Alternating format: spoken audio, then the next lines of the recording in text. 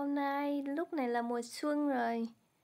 Rau dại mọc rất là Mình tranh thủ hái để vài bữa nó già. Hôm nay mình sẽ hái một loại rau này, này nè Trước mặt mình nè. Thấy không? Một đám à, rau rất là non. Rau này gọi là rau eh, tỏi mù tạt rau này mình chỉ không có được ăn sống ăn sống thì không được. À, mình sẽ làm ờ, làm giống như làm dưa vậy đó giống như dưa cải ờ, à, tùi sải của mình á. Làm như cải mà để mình ăn tết mình thường ăn với thịt kho đó. Không biết có chị em nào hái chưa? À, có biết là ăn cái rau này chưa? Nhưng mà cách làm thì à, cách làm truyền thống nó rất là đơn giản, mà cũng nhanh nữa. Giống như mình à, hái đọt non thôi, cái mùa này là non nhất nè, để vài bữa cái nó lên bông. Lên bông cũng vẫn ăn được, bẻ non ăn vẫn được.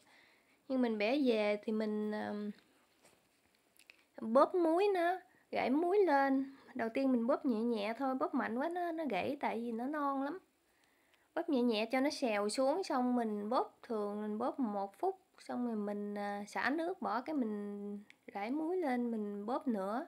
Mình bóp như mình nhồi quần áo vậy đó. Đừng mạnh quá thì mình sợ nó gãy. Thì mình bóp lần hai bóp lần ba xong mình xả nước đó bỏ.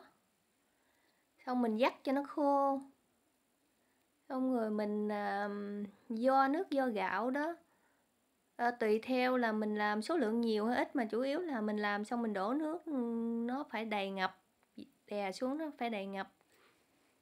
Nước vô gạo mình à, bỏ chút muối muối vô mình bỏ vô mình phải nếm mình cảm giác nó hơi mặn mặn là được rồi chứ đừng quá mặn. Rồi mình bỏ vô một à, cục cơm nguội. Thì xong rồi mình dắt xong mình chỉ để nó vô để nó vô là mình à, để ở ngoài một đêm hai đêm, hai ngày, xong rồi là nó chua rồi là mình à, để vô tủ lạnh là khi đó là mình sẽ vớt ra mình ăn, mình dắt bỏ nước một chút xíu, đừng có để nhiều quá.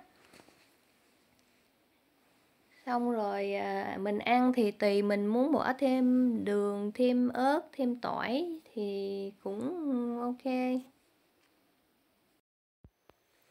Mình thêm cái gì cũng được, tùy theo khẩu vị của mỗi người mình ăn với thịt à, kho thịt nướng thịt chiên gì cũng được. Rất là ngon. Ăn rồi là bị nghiện đó nha. Thôi chúc mọi người luôn vui khỏe. Hẹn video lần sau mình sẽ chia sẻ một loại rau khác. Bye bye.